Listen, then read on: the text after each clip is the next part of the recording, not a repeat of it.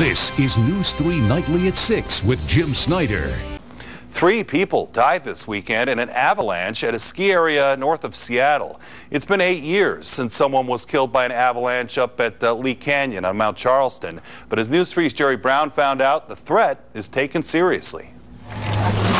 It was an active day on the mountain. President's Day caps the final three day weekend of the season for many winter sports enthusiasts. And on Mount Charleston, Lee Canyon Meadows was filled with the shouts of young sledders. While just up the road at the ski resort, lift lines were busy as a slightly older crowd looked to catch some vertical. How's the boarding up here? Great.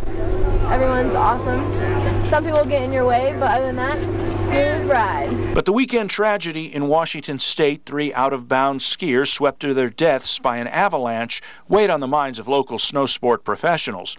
Avalanche control in Lee Canyon is a daily precaution.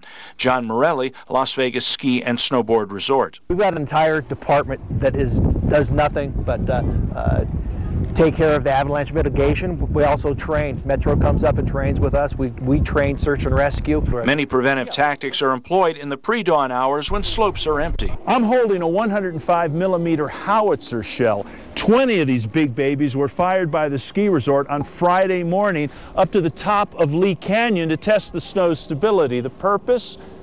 To prevent avalanches. Kent Williams manages the ski patrol at the resort. Some of the blame for avalanches, he says, can be traced to the weather. The problem this year is because we've had so little snowfall. There's a base that sat there for a long time. It got old, it warmed up, it cooled off, it made for an unstable base. So then as we got new snow on top of it, it created a greater threat. But Morelli says the principal cause of avalanche deaths can't be blamed on climatic conditions. I'd have to probably say ignorance, uh, lack of knowledge, lack of education, uh, and we do everything we can to overcome all those obstacles here. And when there is a declared state of high avalanche danger, as was the case in the Washington tragedy, we'll actually delay opening uh, until the, the mountain's safe for people to come up. It's, it, it's not worth it. Jerry Brown, News 3.